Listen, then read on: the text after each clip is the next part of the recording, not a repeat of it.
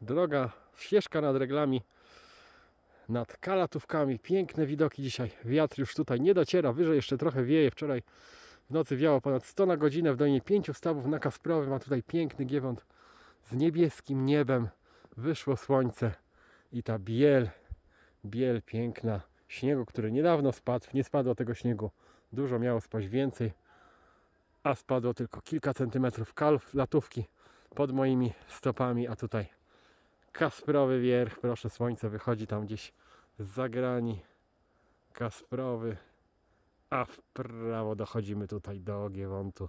Długi, długi Giewont pięknie prezentuje się z tej perspektywy zupełnie inaczej niż centrum Zakopanego. Piękna pogoda, ale pamiętajcie, drugi stopień zagrożenia lawinowego. Zimowe warunki w Tatrach. Biały śnieg piękny. Teraz trochę odwilży, trochę słońca i znowu mróz solidny w weekend, później opady śniegu. Także zima zagości. Miejmy nadzieję, że przynajmniej do świąt i do nowego roku. A w Tatrach to nie ma się co martwić, tam zawsze jest zimą, zimowo. Pozdrawiamy.